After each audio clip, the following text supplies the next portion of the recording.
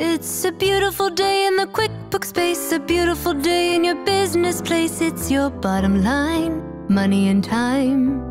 Since we're together, we might as well say, Won't you be my QuickBooks neighbor? Welcome back to our next episode of QuickBooks and More. My name is Beverly Lang, and I get asked constantly, How do I void a check in QuickBooks? So today I'm going to show you. Let's take a look.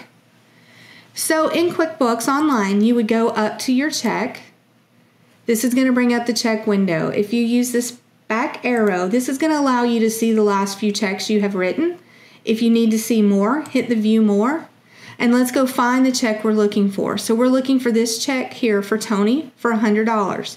And when the check comes up, I'm going to use the more down here in the bottom and I'm going to hit void. When I hit void, it's going to ask me, Are you sure this is what you want to do? As long as you're certain, go ahead and hit yes. And now that check has been successfully voided.